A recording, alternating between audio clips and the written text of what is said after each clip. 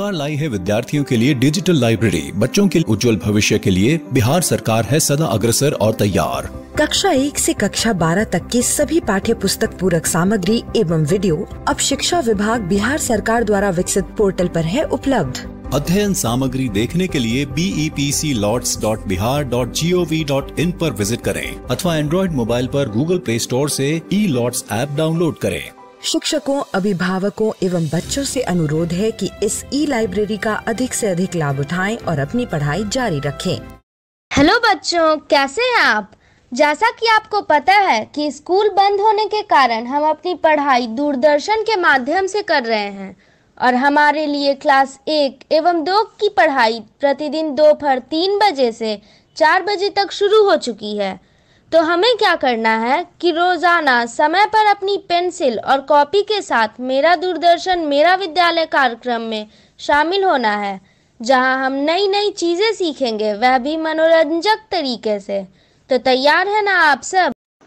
तो बच्चों, आज सबसे पहले हम लोग पढ़ेंगे बापू की पाती, जिसमें गांधी जी के जीवन प्रसंग से जुड़ी बातों को जानते हैं।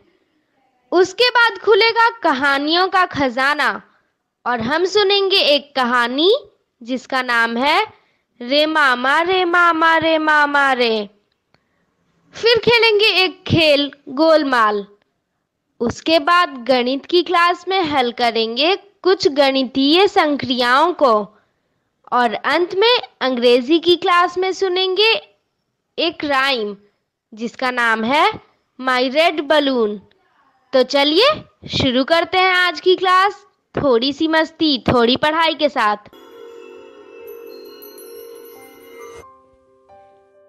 बापू की कहानी, जिसमें हम बात करेंगे महात्मा गांधी के जीवन के बारे में। पिछली बार हमने ये जाना कि दक्षिण अफ्रीका में अपने प्रयासों से मोहनदास को वकालत में सफलता मिलने लगी थी। उनकी झिझक खुलने लगी और उनका जीवन अब सामाजिक बनने लगा था। उन्होंने नेटाल इंडियन कांग्रेस का गठन किया था। मजदूरों के हक के लिए वो आगे आए थे और अब उनकी कांग्रेस में तरह तरह के हिंदुस्तानी लोग भी शामिल होने लगे थे। इन सब में मोहनदास को अपना परिवार छोड़कर आए हुए तीन साल गुजर गए थे। वे छह महीने के लिए स्वदेश रवाना हुए। भारत आकर उन्होंने दक्षिण अफ्रीका के अनुभव पर लिखना शुरू किया, लोगों को बताना शुरू किया। फिरोज शाह मेहता और लोकमान्य बाल गंगाधर तिलक जैसे बड़े नेताओं से उन्हें प्यार मिला, मदद मिली और इसी यात्रा में मोहनदास मिले गोपाल कृष्ण गोखले से। आगे जाकर गोखले उनके राजनीतिक गुरु बन गए। इन सब के साथ मोहनदास अपने बीमार बहनोई की सेवा भी कर रहे थे और राजकोट में प्लेग की महामारी से बचने के लिए सफ़ाई का इंतज़ाम भी परिवार के साथ मोहनदास जब वापस दक्षिण अफ्रीका पहुँचे, तब 23 दिनों तक यात्रियों को जहाज़ से उतरने नहीं दिया गया दक्षिण अफ्रीकी सरकार चाहती थी कि मोहनदास वापस भारत चले जाएँ। मोहनदास के जो लेख भारत के अखबारों में छपे थे, उनके बारे में बढ़ा चढ़ाकर दक्षिण अफ्रीका में बताया गया था। यहाँ के बहुत से गोरे मोहनदास से गुस्सा थे। जहाज़ से उतरने पर मोहनदास पर गोरे लोगों की भीड़ ने हमला कर दिया। अगर कुछ दूसरे गोरे लोग बीच में ना पड़ते तो शायद वो उन्हें मार ही डालते। जब अखबारों में इसके बारे में छपा और यह भी कि मोहनदास ने हमलावरों के खिलाफ शिकायत नहीं की तो उनके लिए सहानुभूति बढ़ने लगी। अखबारों ने उन पर लेख छापने शुरू कर दिए।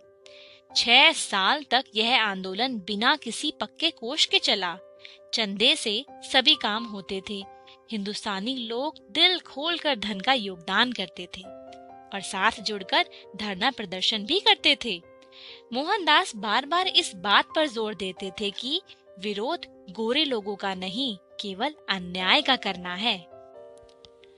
वे बार बार अपने सहयोगियों से कहते थे कि अन्याय और हिंसा का जवाब न्याय और अहिंसक ही होना चाहिए। सत्याग्रह आंदोलन के दौरान नौ बार सरकार ने मोहनदास को जेल में डाला। वे छूटते ही फिर सत्याग्रह में लग जाते, बाद में कस्तूरबा भी जेल गई। मोहनदास इंडियन ओपिनियन नाम का एक अखबार निकालने लगे। वकालत भी ठीक चलने लग गई थी, कमाई भी अच्छी थी, लेकिन उनका रहन सहन और सादा बन गया था। गरीब और मजदूर लोगों के लिए काम करते हुए वे उनके जैसे ही रहने लग गए थे। सन 1904 में गांधी परिवार ने अपना घर छोड़ दिया और अब वो अपने साथियों के साथ एक बस्ती में रहने लगे। इनमें हरमन कैलन बैग भी थे। वे एक रईस आर्किटेक्ट थे। आश्रम बनाने का पैसा उन्हीं ने दिया था। वे वहाँ अपने हाथ से काम भी करते थे। इनमें चार्ली एंड्यूज भी थे, एक ईसाई पादरी। गरीब लोगों की मदद करने की वजह से उनका नाम दीन बंधु पड़ गया था। विरोध करने का जो अहिंसक तरीका था, उसके लिए एक नया नाम चाहिए था। उनके भतीजे ने सुझाव दिया सदाग्रह। और इसी को निखार कर गांधी जी ने एक नाम गढ़ा जो अमर हो गया, और वो था सत्याग्रह। एक और सख्त कानून अंग्रेज़ सरकार ने बनाया, जिसमें हर हिंदुस्तानी को जेल के किसी अपराधी की तरह अपनी उंगली की छाप देना अनिवार्य था, और जिसकी वजह से हर हिंदुस्तानी शादी की कोई मान्यता नहीं थी। गांधी जी ने कस्तूरबाई को आंदोलन में आने के लिए उकसाया। उन्होंने कहा कि इस कानून के हिसाब से तुम मेरी पत्नी भी नहीं हो। और इसी कानून के विरोध में सन 1913 में एक महान कूच निकला और उसमें 2000 से ज़्यादा पुरुष और महिलाओं और बच्चों ने भाग लिया। जब सत्याग्रहियों ने जेल भर दिए तब अंग्रेज़ सरकार ने हार मानी। गलत कानून वापस लिया गया। जेल से छूटे तो गांधी जी भारत लौटने की तैयारी में लग गए। आज के लिए इतना ही। अगली बार हम देखेंगे कि जब बापू वापस लौटकर भारत आए तो उन्होंने अंग्रेज़ों का सामना किस तरह किया?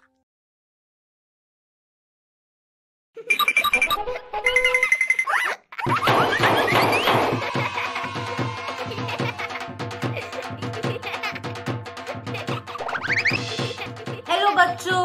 थोड़ी सी मस्ती और थोड़ी पढ़ाई के इस एपिसोड में आप सभी का स्वागत है। मैं आशा करती हूँ कि ये एपिसोड सभी बच्चे अपने माता पिता और अपने भाई बहन के साथ देख रहे होंगे। क्यों? क्योंकि हमारा प्रोग्राम तो घंटे भर का ही है, पर घर पर मस्ती और पढ़ाई सब मिलकर करते रहेंगे ना तो बहुत मज़ा आएगा। सही कह रही हूँ ना मैं? तो चलिए शुरू करते हैं। सबसे पहले हम सुनेंगे एक कहानी और उसके बाद कुछ अक्षरों के खेल खेलेंगे। तो क्या आप तैयार हैं? बिट्टू की काकी ओ बिट्टू की काकी दोपहर में मेरी आँख क्या लग गई? तुम दोनों गायब ही हो गई। कहाँ गई थी तुम दोनों? बिट्टू के काका हम बाज़ार गए थे। बिट्टू के लिए कुछ नए कपड़े खरीदने थे। हाँ काका। लगता है आपने मेरी यह नई फ्रॉक नहीं देखी। बाज़ार? बाज़ार खुल गया क्या? तुम दोनों खरीदारी भी करने लग गई।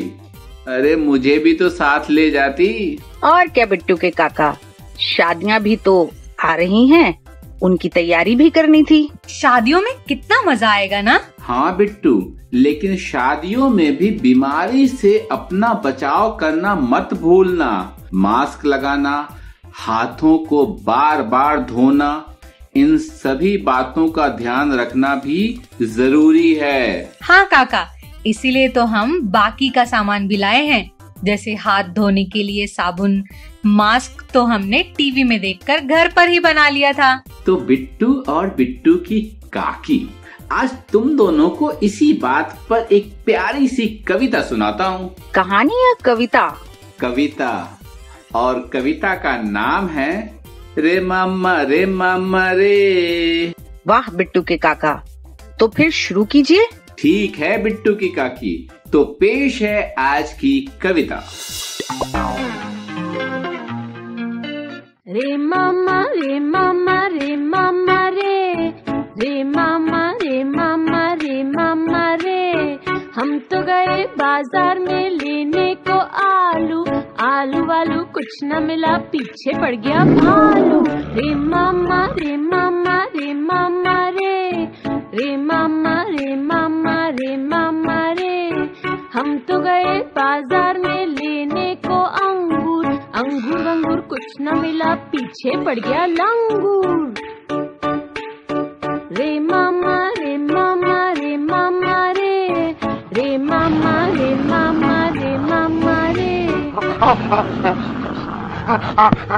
रे मामा रे मामा रे मामा रे। रे मामा रे मामा रे मामा रे। हम तो गए बाज़ार में लेने को आलू। आलू वालू कुछ न मिला, पीछे पड़ गया भालू। रे मामा रे मामा रे मामा रे। रे मामा रे मामा रे मामा रे। हम तो गए बाज़ार में लेने अंगूर अंगूर कुछ न मिला पीछे पड़ गया लंगूर। रे मामा रे मामा रे मामा रे रे मामा रे मामा रे मामा रे।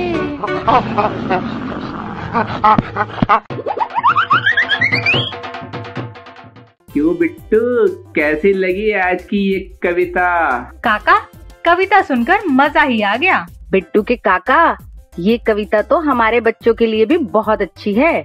लेकिन जरा आप बताइए कि जब आप बाज़ार जाते हैं तो क्या क्या देखते हैं? भाई हम तो बाज़ार में साग सब्ज़ी खरीदने जाते हैं और कभी कभी जलेबी की दुकान पर चले जाते हैं तुम दोनों के लिए जलेबी खरीदने। काका इसका मतलब ये हुआ कि आप बाज़ार में ज़्यादा घूमते नहीं हैं। काकी आप बताइए जब आप बाज़ार गई थी तब आपने बाज़ार में क्या क्या देखा था? बिटिया जब हम बाज़ार गए तो हमें चाट वाला दिखा। हमने अलग अलग कपड़ों की दुकानें देखी। सब्ज़ी की दुकानें बर्तन की दुकानें और गहनों की दुकान भी देखी थी हमने। वाह बिट्टू की काकी वाह। तुम तो बहुत कुछ देखा ही बाज़ार में। अब की बार जब हम बाज़ार घूमने जाएँगे तो हम भी ध्यान रखेंगे। कि बाज़ार में क्या क्या देखा क्या क्या देखने के लायक है? हम्म ये हुई ना मज़े की बात काका। बिटिया तुम बताओ कि जब तुम बाज़ार जाती हो तो क्या क्या देखती हो वहाँ? जरा हम भी तो जाने। काका जब मैं बाज़ार जाती हूँ तब मैं किताब की दुकान खिलौनों की दुकान जूते की और गोलगप्पे की मोबाइल की ढोल की दूध की दुकान के अलावा भी और भी दुकानें देखती हूँ। बच्चों जब आप कभी अपने माँ बाबा के साथ हाट हटिया या बाज़ार जाते हैं तो वहाँ कौन कौन सी दुकानें या वहाँ क्या क्या आप देखते हैं? अपने घर पर सबको इसके बारे में बताइए। बिट्टू के काका कविता पर हम लोगों ने बहुत बात कर ली लेकिन कविता के बाद हम क्या करने वाले हैं? अब अगर हम कोई खेल खेलें तो कैसा रहेगा? हम्म मन तो मेरा भी कोई खेल खेलने का हो रहा है। क्यों बिट्टू के काका? आपका क्या विचार है? अरे भाग्यवान तुम कुछ कहो और मैं ना मानूं ऐसा भला हो सकता है? अच्छा ये बात है लेकिन आप तो कभी मेरी कोई बात मानते ही नहीं। अरे ऐसा क्यों कह रही हो? बताओ कौन सी बात नहीं मानी अब तक? फुर्सत में बताऊँगी। अभी तो आप खेल खिलवाइए। काका ऐसा खेल जिसे खेले तो पढ़ाई भी हो और मज़ा भी आ जाए। बिल्कुल तो खेल का नाम है गोलमाल। तो शुरू करते हैं ये खेल। तो खेल शुरू करते हैं गोल माल इस खेल में हमें क्या करना है? इस खेल में हमें चित्र पहेली को सुलझाना है। तो आइए खेल शुरू करते हैं। गोल माल। हम्म ये कौन सा चित्र है? ये इसकी धारियों से लग रहा है कि ये एक जेब्रा है। तो जेब्रा का सबसे पहले क्या आएगा? हम्म ये चित्र मुँह सबसे पहले नंबर पर। उसके बाद यहाँ पेट। थैंक यू बन गया। अब दूसरा आया है ये तो संतरा है। संतरे का ये थोड़ा मुश्किल लग रहा है। संतरे को कहाँ लगाना होगा? इधर? हम्म। हम्म। हम्म, ये तो नीचे आएगा पैर नीचे और ये वाला पैर यहाँ। अब घास नीचे है तो ये यहाँ। ये तो बहुत ही मुश्किल लग रहा है। हम्म, ठीक है कोशिश की जाए। इसको कर देते हैं। यहाँ यहाँ। हम्म अब इस बच्ची का ऊपर का सर कहाँ है? ये रहा। हम्म अब ये यहाँ। लेकिन ये जो लाल है इसका ये वाला पैर वाला हिस्सा है इस बच्ची का। यानी इनको जाना है ऊपर। ऊपर। ऊपर। अब ये रहा दाया पैर और ये है बाया पैर। लेकिन अभी गड़बड़ है। गड़बड़ क्या है? आधा पेड़ यहाँ दिखाई दे रहा है, आधा पेड़ यहाँ दिखाई दे रहा है। और बॉल का थोड़ा सा हिस्सा यहाँ पर है, यानी इसको जाना है यहाँ, और इसको जाना है यहाँ। बॉल पूरी हो गई। अब इसको जाना है यहाँ, और इसको जाना है यहाँ। हम्म पेड़ का नीचे का हिस्सा पूरा हो गया। अब इसको जाना है यहाँ और इसको जाना है यहाँ। देखा? हो गया पूरा। अरे वाह! मैंने साठ गुण प्राप्त किए हैं। बहुत ही बढ़िया खेल था ये। अच्छा ये तो चित्र पहेली थी। हाँ खेल तो बढ़िया था। काकी हम स्कूल में भी ऐसा खेल खेलते हैं। आपको पता है मेरी दोस्त सुधा के पास ऐसी बहुत सी चित्र पहेलियाँ हैं। अच्छा अच्छा। इसीलिए जब तुम उसके यहाँ जाती हो तो इतना समय लगता है वापस आने में। हाँ। हाँ काका। बिट्टू के काका दूसरे खेल का वक्त हो गया है। मैं भी तैयार हूँ काका। हाँ लेकिन आज मेरे खेल के पिटारे से खेल नहीं कुछ और निकला है। हाँ क्या काका? खेल के पिटारे में और क्या क्या भरा है? जरा हमें भी तो बताइए। अरे भाई बताते हैं बताते हैं जरा धैर्य रखो। आज खेल के पिटारे से जो निकला है खेल वो उनके लिए है जो घर पर खाना बनाते हैं। तो पेश है घर पर खाना बनाने वालों के लिए एक स्वादिष्ट व्यंजन बनाने का तरीका। क्या बात है बिट्टू के काका? ये तो मुझे पता था। खाने के शौकीन हैं आप। लेकिन खेल के पिटारे में भी। काकी काका अपने लिए आगे की तैयारी कर रहे हैं। ये बात तो सही कही बिट्टू तुमने। तो देखिए आज का पकवान। पोहा। बच्चों के टिफ़िन के लिए क्या बनाएँ? यह सवाल हर माँ के मन में आता है। बहुत कम समय में और कम तेल में बनाया जाने वाला पोहा बच्चों के टिफ़िन के लिए एक अच्छा विकल्प है। तो चलिए देखते हैं कि पोहा कैसे बनता है। पोहा की रेसिपी पोहा बनाने के लिए हमें चाहिए चार मुट्ठी मोटा पोहा, एक मध्यम आकार का बारीक कटा हुआ प्याज, तड़का लगाने के लिए राई, जीरा, हींग और हल्दी। चार पाँच कड़ी पत्ता, तीन चार हरी मिर्च, तीन से चार चम्मच तेल। नमक स्वाद अनुसार एक छोटा चम्मच शक्कर, नींबू, ऊपर से छिड़कने के लिए बारीक कटा हुआ धनिया, कसा हुआ नारियल। विधि, छन्नी में मोटा पोहा भिगोकर रख दें।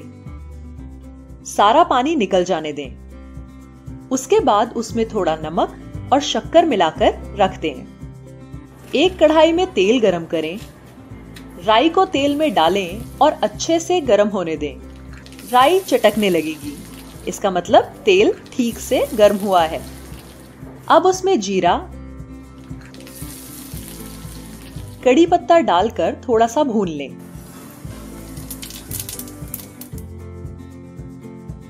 फिर उसमें कटा हुआ प्याज और हरी मिर्च डालें।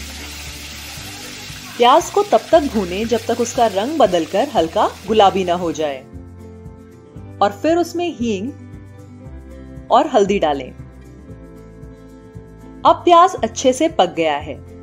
इसमें भिगोया हुआ पोहा डालें और चम्मच से मिलाएँ। भुना हुआ प्याज पोहा में अच्छी तरह से मिल जाना चाहिए। आँच मध्यम रखें और भाप आने दें। अब इसमें नमक डालें और फिर कुछ मिनट तक भाप आने दें। कटा हुआ धनिया और नारियल पोहा के ऊपर डालकर सजाएँ। पोहा अब खाने के लिए तैयार है। प्याज के साथ आलू, मूंगफली इत्यादि इस्तेमाल करके आप इसे और स्वादिष्ट बना सकते हैं। पोहा को अलग अलग तरह से पकाया जाता है। इसके अनुसार इसे अलग अलग नामों से जाना जाता है। जैसे मूंगफली पोहा, आलू पोहा, मटर पोहा या वेजिटेबल पोहा। नेपाल में अंडे का भी प्रयोग किया जाता है, जिसे फूल चूड़ा कहते हैं। तो बताइए, आप पोहा कब बना रहे हैं? क्या बात है काका? अच्छा पकवान बताया आपने। झट से बन जाता है ये तो।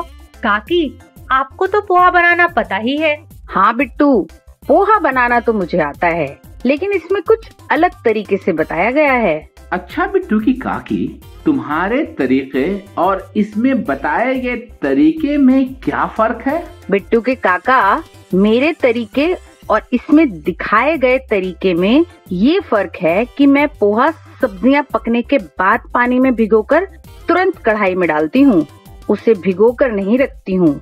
ऐसा इसलिए भी क्योंकि बाज़ार में कई तरह के पोहे मिलते हैं। पोहा पानी को बहुत जल्दी सोखता है और यदि ज़्यादा गीला हो जाए तो वो हलवे की तरह हो जाता है। इसलिए मैं ऐसा करती हूँ। अलग अलग पोहे के हिसाब से कम या ज़्यादा देर तक उसे पानी में भिगोया जा सकता है। अच्छा मतलब पोहा देखकर पता करना होगा कि उसे पानी में कितनी देर भिगोया जाए। बिल्कुल सही बिट्टू। तुमने ये जानकारी तो ठीक बता दी बिट्टू की काकी। मेरा भी फ़ायदा हो गया।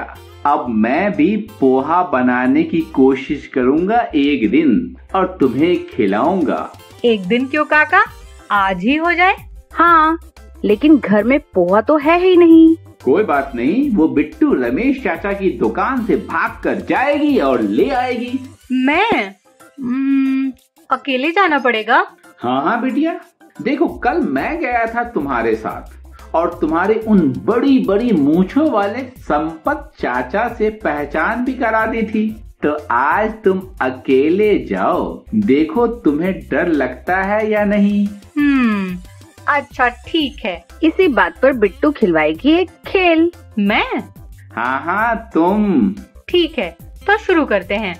काका आप तो जानते ही हैं कि हमारे आसपास बहुत सारे पालतू जानवर रहते हैं और कुछ ऐसे जानवर भी रहते हैं जो जंगल में रहते हैं। लेकिन अगर मैं आपको कुछ जानवरों की आवाज़ें सुनाऊं तो क्या आप उन जानवरों की आवाज़ पहचान लेंगे? हाँ हाँ बिटिया तुम सुनाओ तो सही। हम कोशिश करेंगे। काका तो जरा ये आवाज़ पहचान कर दिखाओ। पहचान कर दिखाओ जरा ये आवाज़। ये आवाज़ तो हमें बंदर की लग रही है। क्यों बिटिया? ठीक कहा मैंने। एकदम सही जवाब है काका। बिट्टू की काकी अब जरा तुम पहचान कर दिखाओ इस जानवर की आवाज़। ढेचू ढेचू ढेचू बिट्टू के काका ये आवाज़ तो हमें घोड़े के छोटे भाई गधे की लग रही है। वाह वाह बिट्टू की काकी। बिल्कुल ठीक पहचाना तुमने। बिट्टू अब एक जानवर की आवाज़ हम सुनाते हैं। देखते हैं तुम पहचान पाती हो या नहीं? सुनाओ काकी मैं तैयार हूँ सही जवाब देने के लिए।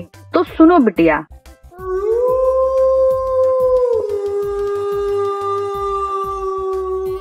अरे बिट्टू की काकी ये आवाज़ तो बहुत दिनों के बाद सुनी है मैंने। काका मैंने तो पहले कभी नहीं सुनी ये आवाज़ लेकिन कोशिश करती हूँ। ये आवाज़ मुझे जंगली सुअर की लगती है। काका क्या मेरा जवाब ठीक है? नहीं बिटिया ये आवाज़ जंगली सुअर की नहीं है बल्कि ये आवाज़ है भेड़िए की। ठीक जवाब दिया बिट्टू के काका आपने। जब हम लोग छोटे थे तब हम अक्सर ये आवाज़ें सुना करते थे।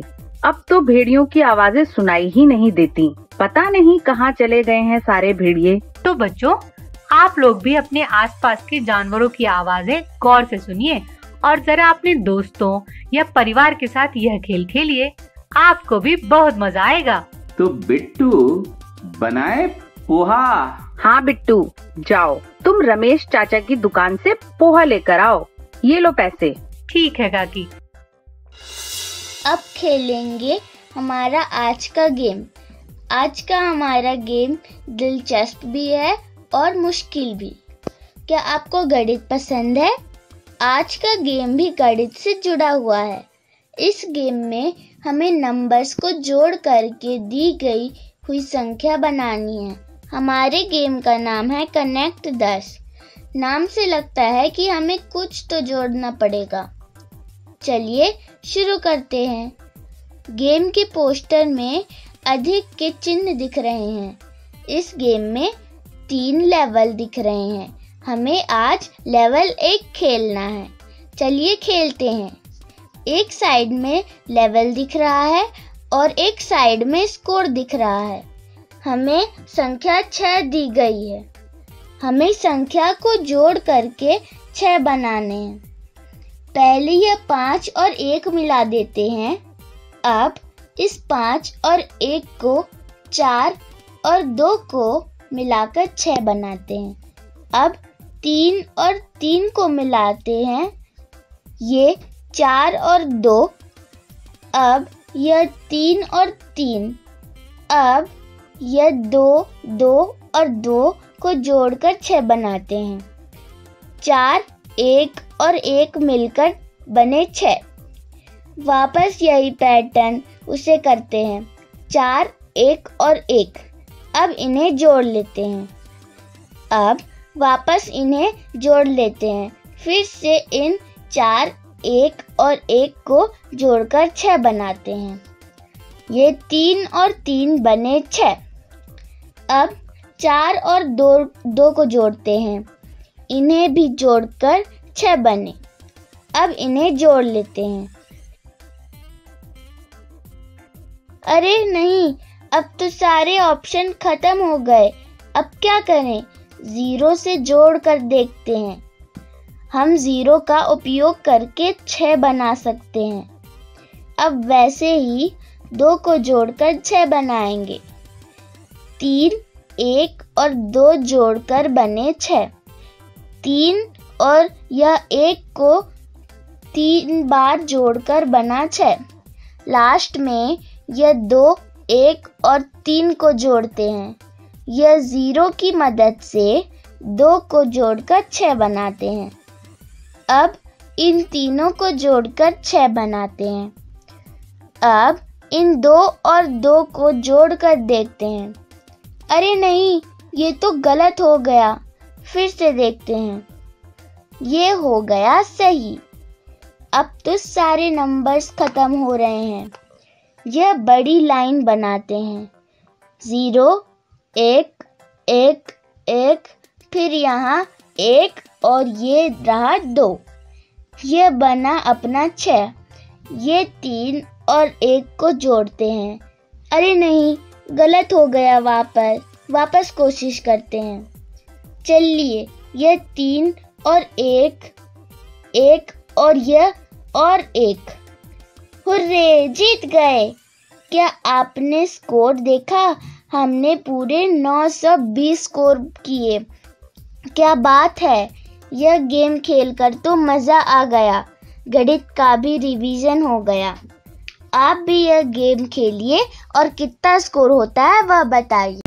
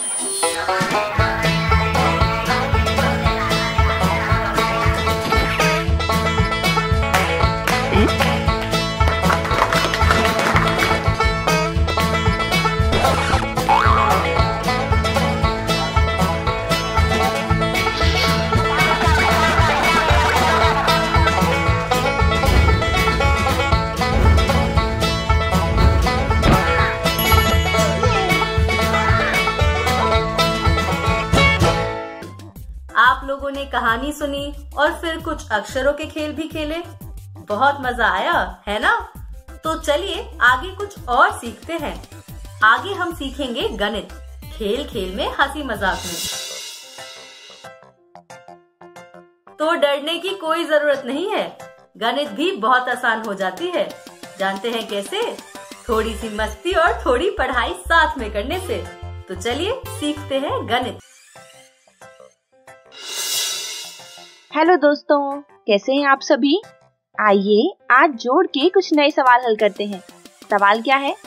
चिंटू के पास सोलह लट्टू हैं और पिंटू के पास बारह लट्टू हैं। तो बताओ, दोनों के पास कुल मिलाकर कितने लट्टू हुए? तो ये रहे लट्टू। ये कितने हैं? ये दस लट्टू हैं पूरे। और ये छह लट्टू हैं जो अलग से हैं। तो ये हुए कुल सोलह लट्टू जो चिंटू के हैं। और ये दस लट्टुओं का अलग समूह है और दो लट्टू ये। और ये मिलाकर कितने हुए? ये हुए बारह, जो कि पिंटू के लट्टू हैं। आइए, अब इन्हें हम तालिका में समझते हैं। इकाई का अर्थ एक लट्टू से है। और दहाई का मतलब है ये दस लड्डुओं का एक समूह। तो देखिए, चिंटू के पास ये छह और ये एक दहाई, और पिंटू के पास ये दो इकाई और एक दहाई। और अब अगर मैं ये छह लट्टू और जो दो लट्टू अलग से थे, उन्हें मिलाऊं? तो ये होते हैं छह और दो आठ। और अब अगर ये दो दहाइया मिला दी जाएँ तो ये कितनी हो जाएँगी? जी हाँ ये दस और दस मिलके कुल होते हैं बीस। इस तरह यहाँ पर हुए ये बीस लड्डू, अर्थात दो दहाई। तो बीस और आठ हो गए ना अट्ठाईस लड्डू। तो इस तरह दोनों के पास मिलकर हो गए हैं अट्ठाईस लड्डू। अगला सवाल मीता के पास चौदह पेंसिल है और राहुल के पास ग्यारह पेंसिल है। तो बताओ, दोनों के पास कुल मिलाकर कितनी पेंसिल है? कैसे हल करना है? देखते ही, यहाँ पर ये रही पेंसिल। ये कितनी पेंसिल है? ये तो दस पेंसिल का समूह है। तो कितनी अलग से होनी चाहिए? जी हाँ बच्चों, ये चार अलग से इस तरह नीता के पास कुल चौदह है। और ये दस पेंसिल का समूह और कितनी अलग से? एक अलग से। तो इस तरह ये कुल ग्यारह पेंसिल है जो राहुल के पास है। अब यहाँ देखिए। इस टेबल में इकाई का अर्थ, एक पेंसिल और दहाई का मतलब दस पेंसिल का एक समूह। तो इस तरह यहाँ पर चार इकाई और एक दहाई है। और राहुल के पास एक इकाई, एक दहाई। अब अगर मैं इनको मिला दूँ जो पेंसिल अलग से हैं तो ये होती है चार और एक पाँच पेंसिल। और यहाँ पर देखिए, अगर मैं इन समूह को मिलाती हूँ तो ये दस पेंसिल और दस पेंसिल। मिलकर कितने होंगे बच्चों? ये मिलकर होंगे कुल बीस पेंसिल। इस तरह दो दहाई। तो क्या समझे? दोनों के पास मिलकर हुए पच्चीस पेंसिल। देखो, कमल के पास 21 चॉकलेट्स हैं और विमल के पास 15 चॉकलेट्स। तो बताओ, दोनों के पास मिलकर कितनी चॉकलेट्स हैं? समझते हैं। ये हैं चॉकलेट्स। कितनी है ये? कुल 20 और ये अलग से एक। तो हो गई 21 21 किसकी हुई? कमल की। और यहाँ देखिए, ये है 10 और ये रही पाँच चॉकलेट्स, अलग से हैं जो। तो मिलकर कितनी हुई है? पंद्रह। तो पंद्रह किसकी? विमल की। अब यहाँ टेबल में देखिए। यहाँ पर इकाई। इकाई का अर्थ है एक चॉकलेट, और दहाई का मतलब दस चॉकलेट्स का समूह। तो देखिए, कमल के पास एक अलग से चॉकलेट है, और दहाई पे है दो दहाइया, क्योंकि बीस है ना? और यहाँ पर देखिए, यहाँ पाँच अलग से हैं, और एक दहाई है। अब अगर मैं इनको मिला दूँ तो ये पाँच और एक मिलकर कुल छह चॉकलेट तो इकाई पर हुई। और अगर मैं ये बीस और ये दस चॉकलेट्स मिलाऊं तो कितनी बनती है? ये बनती है तीस। तीस का मतलब है तीन दहाई। तो इस तरह आप बताइए कि कुल मिलाकर कितनी चॉकलेट हो गई है?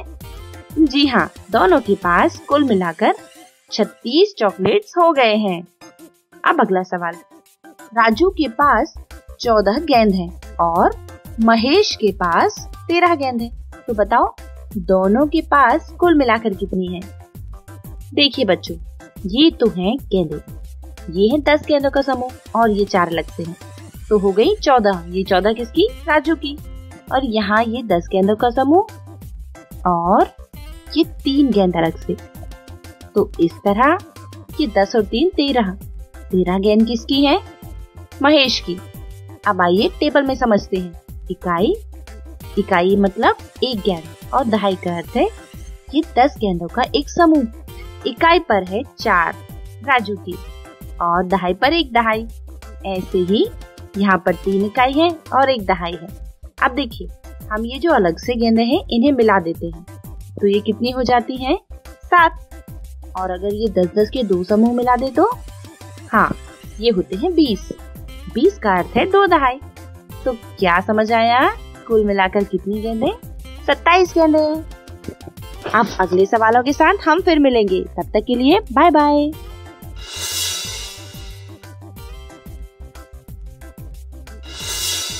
हेलो दोस्तों, कैसे हैं आप सभी?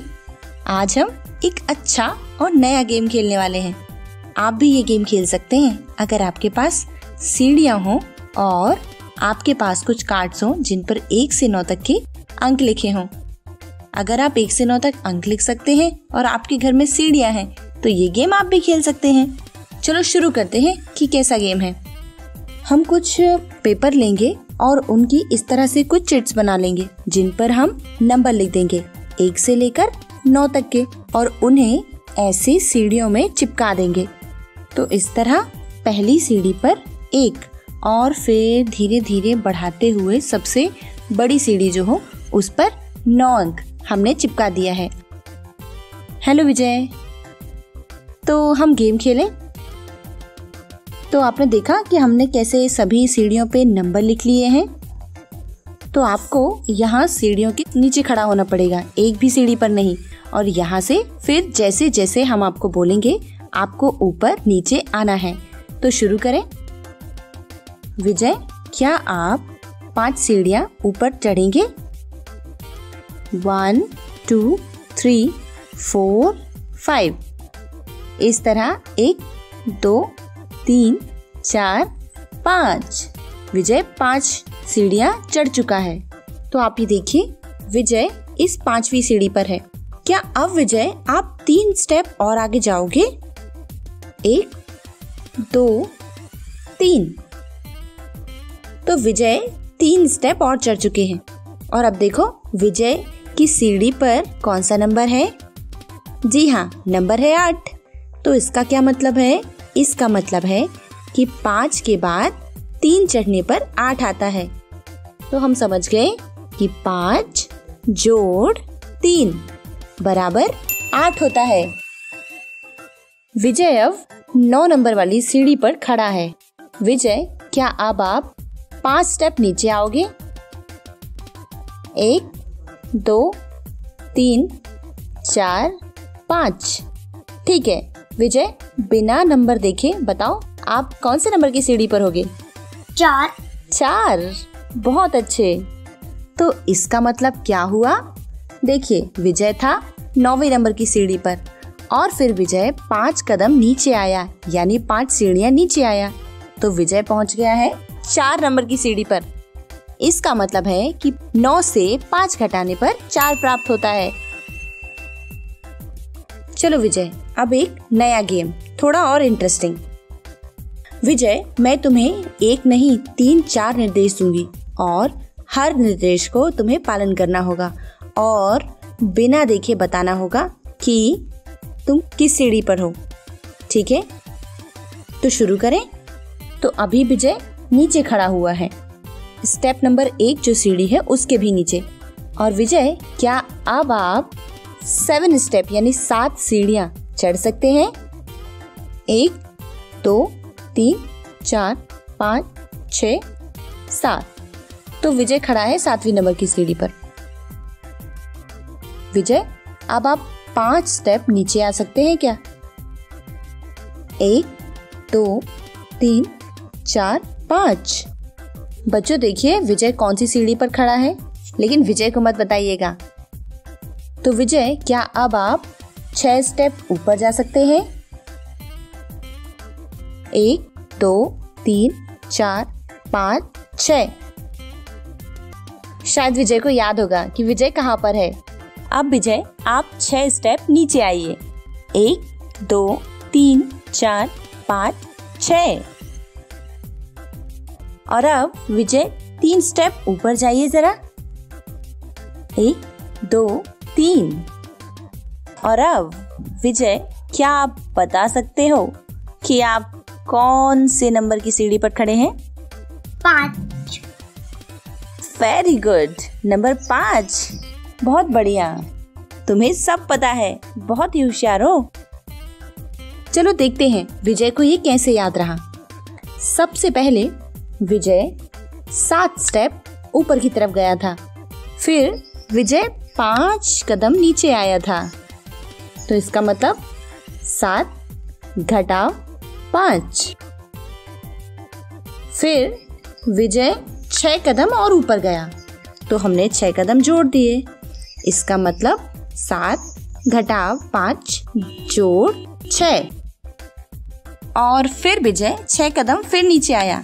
इसका मतलब सात घटाव पाँच जोड़ छ घटाव छ और फिर विजय तीन कदम ऊपर चढ़ा। मतलब सात घटाव पाँच, धन छ ऋण छ फिर जोड़ तीन। क्या उत्तर आएगा? देखिए, सात में से पाँच घटाने पर दो, फिर छह और दो जोड़ने पर आठ आठ से छह घटाने पर दो, और दो में तीन जोड़ने पर पाँच। तो इस तरह आप भी ये गेम खेल सकते हैं। शुरू कीजिएगा अपने दोस्तों के साथ और अपने परिवार वालों के साथ। सो थैंक यू विजय हम फिर मिलेंगे। बाय बाय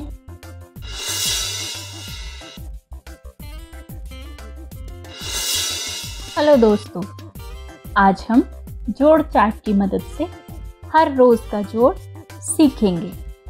चलिए चलते हैं और देखते हैं कि आज हम कौन कौन से अंकों का जोड़ करने वाले हैं। सबसे बाएँ कॉलम और सबसे ऊपरी पंक्ति में से एक एक अंक चुने और अंकों का योग फल जाने। तो आज हम 10 के साथ बाकी अंकों का जोड़ सीखेंगे। तो चलिए शुरू करते हैं। सबसे पहले हम लेते हैं नंबर दस और एक। दस। जोड़ एक बराबर ग्यारह। अगला नंबर हम लेंगे दस और दो। दस जोड़ दो बराबर बारह। अब देखते हैं दस और तीन का योगफल क्या आता है। दस जोड़ तीन बराबर तेरह। अब क्या आप बता सकते हैं कि दस और चार का योगफल क्या आएगा? दस जोड़ चार बराबर चौदह। अब दस और पाँच का सोचिए। दस जोड़ पाँच बराबर पंद्रह। अब मुझे बताइए कि दस और छह का योगफल क्या आ सकता है? दस जोड़ छ बराबर सोलह। अब हम करेंगे दस और सात का जोड़। दस जोड़ सात बराबर सत्रह। अब आगे देखते हैं कि आठ और दस को जब हम जमा करेंगे तब हमारे पास क्या उत्तर आता है?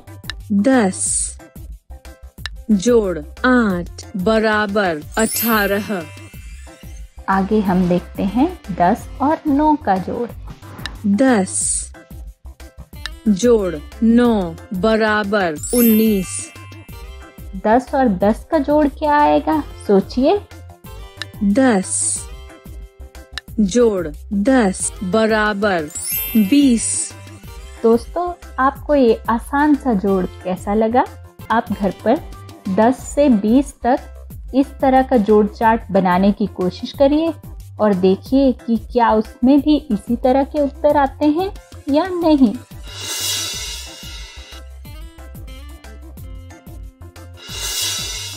हेलो दोस्तों, आज हम खेलेंगे खेल लाइन लगाओ।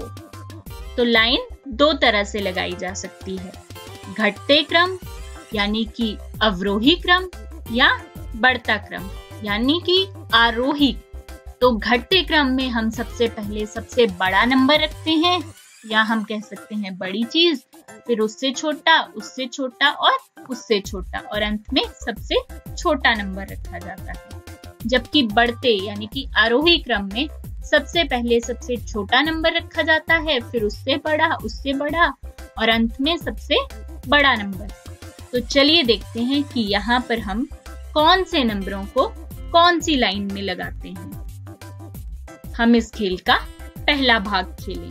यहाँ पर हमें संख्याओं को अवरोही क्रम में लगाना है। अवरोही यानी कि घटता क्रम। तो देखते हैं कि यहाँ पर हमें सबसे पहले सबसे बड़ी संख्या कौन सी दी है? यहाँ पर हमारे पास है पाँच, चौदह, तीन, चार, तेरह छ ग्यारह, नौ, आठ, दस, सात और बारह। तो इन सब में सबसे बड़ा नंबर है चौदह। तो चौदह को हम रखते हैं सबसे पहले।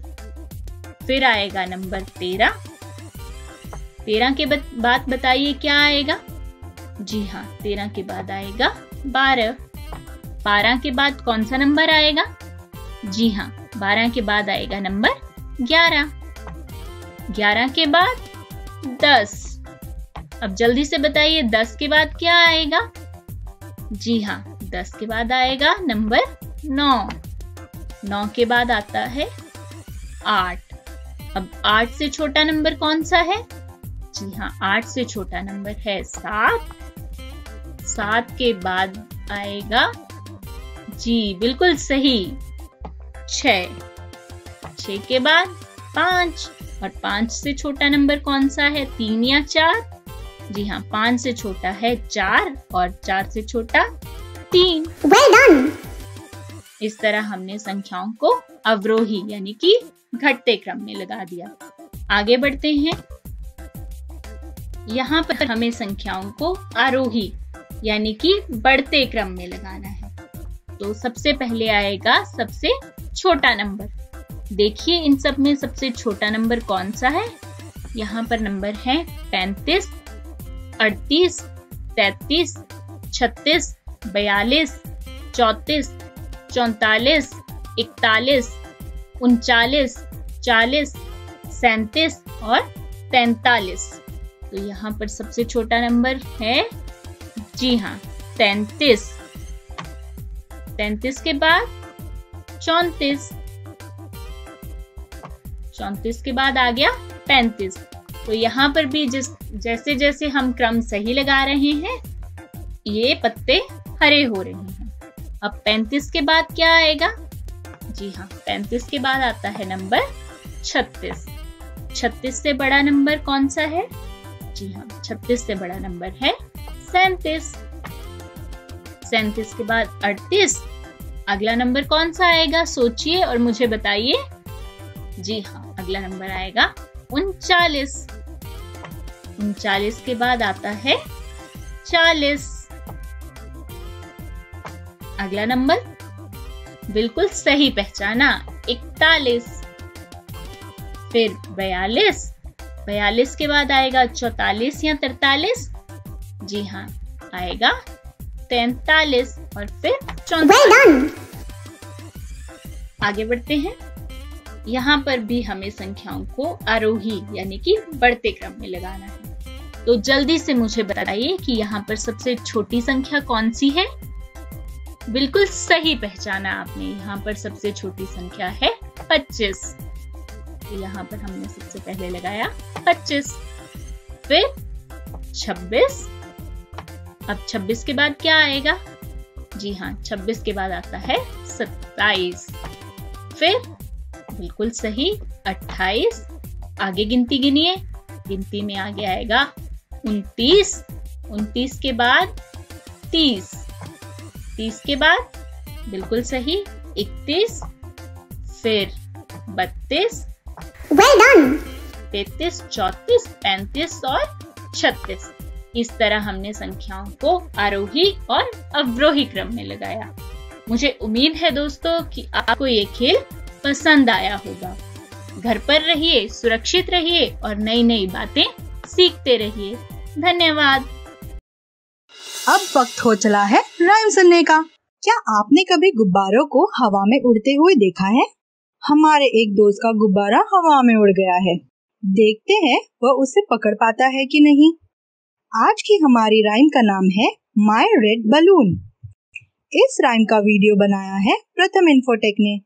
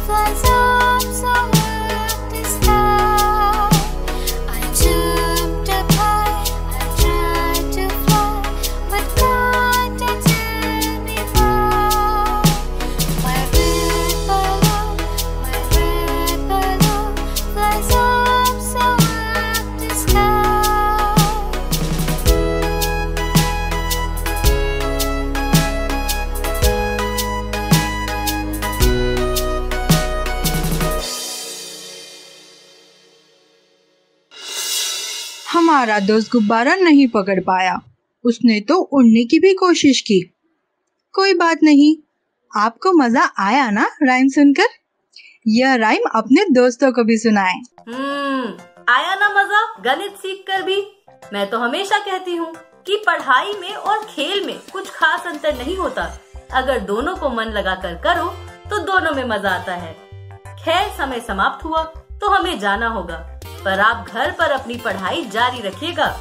हम कल फिर मिलेंगे। इसी समय यहीं पर। आना मत भूलिएगा।